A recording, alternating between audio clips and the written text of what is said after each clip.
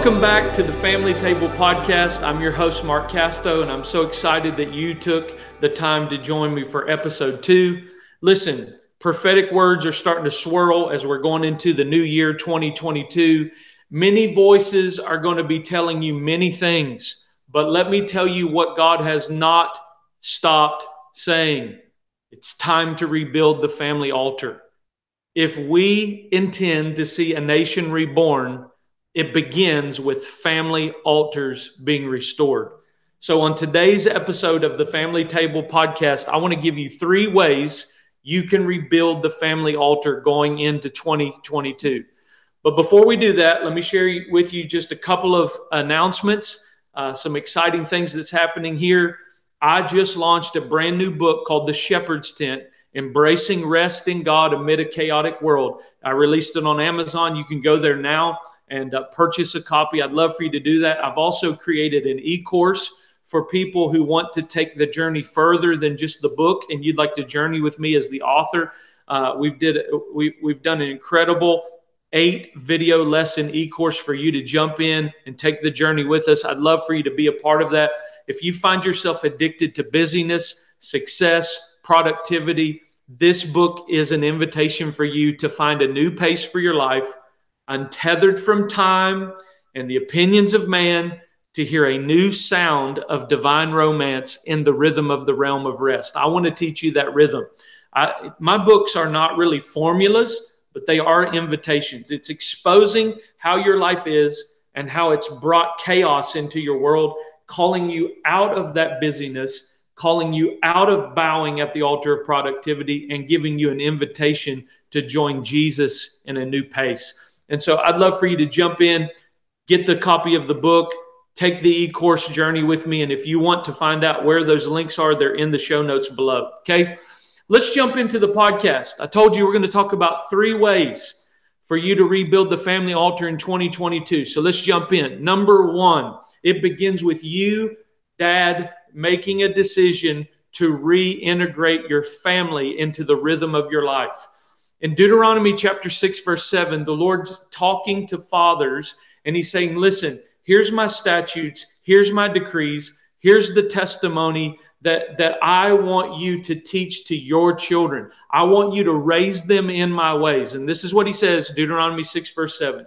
And you shall repeat them diligently to your sons and speak of them. Listen to this when you sit in your house, when you walk on the road, when you lie down, and when you get up. So there's a lot of opportunity here where the Lord's saying, I want you to integrate your family into your rhythm.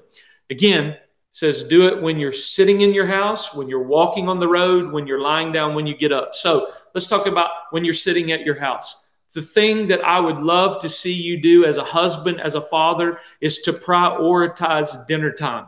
You need to sit down at the family table. Rebuilding the family altar is a table. It's a table where you sit down with your wife and your children and you talk about life, the things of God, what God's saying, what God's doing, not only in you, but in the life of your wife, in the life of your children. Your family needs a conversation daily together about life, what God's saying, and what God's doing in it. I challenge you to do that. It says for you to teach them as you're walking on the way. That's taking your kids with you on the journey, taking your kids to the store, taking your kids to the grocery store, taking them to Home Depot and Lowe's, taking them to, to wherever it is you're going. Bring your kids along for the journey. And when they're on the journey, teach them about God's ways. Teach them about what God's saying, what God's doing. Also, put them to bed. I love this. This is one of my favorite times is to go in with my children as they're lying down for bed. Many times I will get stories of revivalists and stories of men of God who have really said yes to a devotional way of life to Jesus. And I'll take those books and I'll read stories from those books to my children to build their faith, to show them church history, to show them how God's been faithful to men and women for, for, for thousands of years. So it can be the Bible, it can be books that, that burn in your heart, autobiographies of great men and women of God. Take those books Tell their stories to your children. They'll absolutely love it. So, so put them to bed with stories. Wake up with them. Remind them of God's plan for the, their life. Tell, tell them today is the day that the Lord has made, and we will rejoice and be glad in it. Build their expectancy early in the morning to be grateful, full of thanksgiving, and have eyes that are peeled and ears that are open to hear and see God in the midst of their day. So reintegrate your family. That's the first thing. The second thing is if you're going to rebuild the family altar in 2022, second thing is this you need a Sabbath. Husbands, fathers, if you're going to lead your family well, you need to bring the Sabbath back into the rhythm of your life. Now, listen, because of Jesus, we live in a perpetual Sabbath. We live in rest and trust in Him. We live in what Hebrews calls the confident realm of trust or faith. And so I love that. But I also love taking one day out of the week to actually make a Sabbath, a day where there's no work, a day where there's no cell phone, a day where there's no email, just Jesus and family. And listen, if you have built a world where you can't shut off your phone and you can't answer emails, you have made yourself an idol to someone else. You need a time where the world can run its course without you. God is able to take care of your business, your ministry, other people without your involvement one day a week. So shut the cell phone off. Don't answer emails, just Jesus and family. Babylon has so enslaved many of us to the idea of how to get ahead that he has successfully removed the head out of every home. And what the Sabbath does is reestablish you as a man back at the head of the table.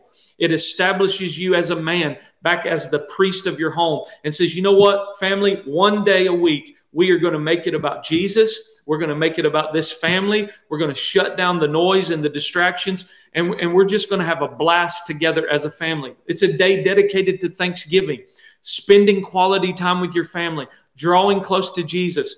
Um, our family loves to play games on that day. We love to take walks. We like to just do fun activities around the house.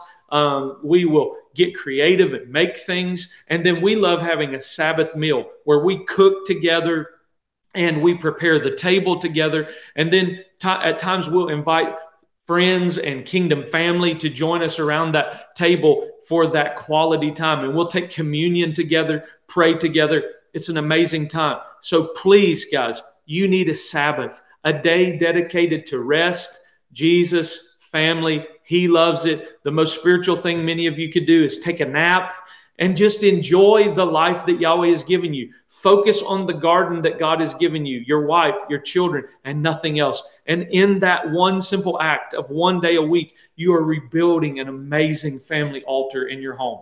Okay, here's the last one. Number three, for you fathers, bless your children. Lay your hands on them, and as a father, bless them. Even do this for your wife, man. Maybe you don't have kids. Bless your wife. Lay hands on her head as a man of God and prophesy. Speak blessing over her life. Listen, in the book of Genesis, Jacob has 12 sons, and Jacob gathers around all 12 sons, lays his hands on each one of their heads, and prophesies over them the word of the Lord. And guess what happens? Everything that he said in blessing them came to pass in their life. It's a powerful thing, man. It's the power of a blessing.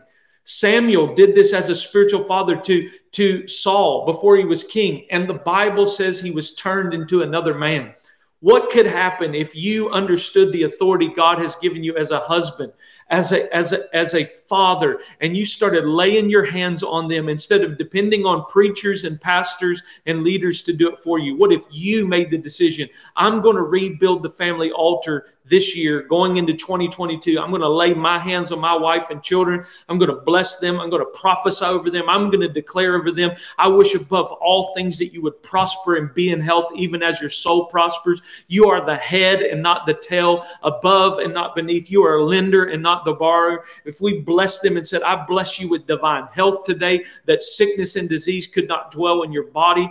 I bless you with divine direction, for the footsteps of the righteous are ordered by the Lord. Come on, man. I feel it when I'm talking about it. Lay your hands on them and bless them in the name of Jesus. Prophesy nothing but goodness over them for all the days of their life, that with long life would Yahweh bless them and show them the salvation of the Lord. So I'm just telling you, man, if you want to rebuild the family altar in your home, reintegrate the family into the rhythm of your life, you need a Sabbath day de- dedicated to rest, Jesus, and family. And you need to start blessing your children, prophesying over them. Because rebuilding the family altar is, is a major deal, guys. And it may be the most prophetic thing, the most significant thing that we could do as it relates to saving cities and nations. I'm serious. When I say that, some, some people just let that go in one ear and out the other. But what I just told you to do could actually be the thing that saves your city and saves a nation. How can I say that? Genesis 18, verse 17 through 19. Yahweh revealed to Abraham his plans uh, for the cities of Sodom and Gomorrah. That, that because sin was running rampant, the judgment, there were angels being sent there to bring judgment to that land. And Abraham was told by the Lord prophetically what was about to happen and, and was invited and entertained by the Lord with intercession over rescuing those cities, to spare those, simply, those cities simply because Abraham was faithful to do one thing raise his family in Abba's ways. I'm telling you, raising your family may be the most prophetic thing that you can do.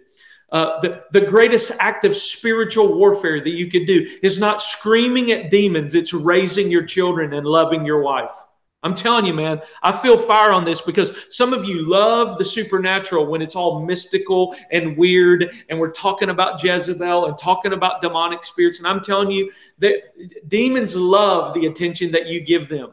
But but but what what the demonic world doesn't want you to know is if you learn to put your trust in Jesus and take responsibility over your garden, you can actually by doing things God's way bring order to the chaos, just like Adam and Eve were intended to do in the garden, without even having to focus on the demonic. And many of you, I feel this by the Holy Ghost, are having to deal with demons because you have no order in your life.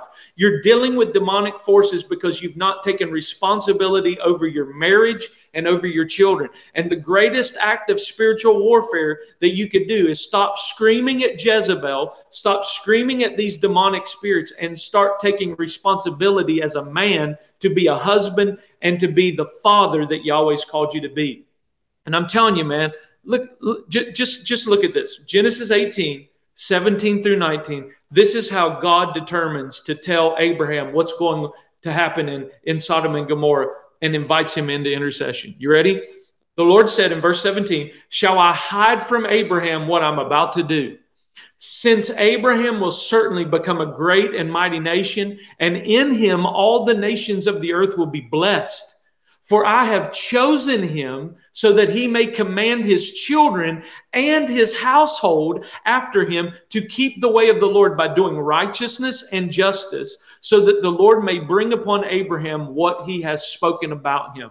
Guys, just as God chose Abraham to command his children and his household and to keep the way the Lord, of the Lord, to keep the way of the Lord, just as he has chosen Abraham for that, he has chosen you to do the same. You have been chosen by God to rebuild the family altar. And in doing that, you become a key to sparing cities and nations. Guys, I'm telling you, man, you rebuilding the family altar in 2022 may be and it will be the most significant thing that you do. So, in closing, before I go, I want to invite you to join me for a very special Facebook group for men that we call Head of the Table. If this podcast blessed you, provoked you, challenged you, you need to join this group. This group is dedicated to those who specifically, the men who listen to this podcast, who say, you know what, I want to go deeper in identity as a son, uh, a husband, and a father. And all you have to do, just click the link below for the Facebook group, Head of the Table. I want you to jump into that group and say, Mark, I am committing as a man to rebuilding the family table and the family altar in my house this year. And I'm telling you, man, it's going to make all the difference in the world. So click that link, join me in that group. Let's encourage one another. Let's challenge one another. Let's share victories together. Let's pray for one another. It's going to be amazing. And we'll do special events just for that group that is going to help you build that family altar in a greater way in 2022. It's going to be absolutely amazing. So, again, I hope you enjoyed episode two from the Family Table podcast. I look forward to being with you on our next episode. God bless you. I want to take a moment and say thank you for listening to this episode from the Family Table. If this podcast was at all helpful to you, please tell your friends and family about it. Leave us a review on your podcast platform of choice. And I want to invite you to connect with me on Instagram at markcasto underscore. Again, that's at M A R K C A S T O underscore. And I look forward to connecting with you soon on the next episode of the Family Table Podcast. May His peace rest upon you.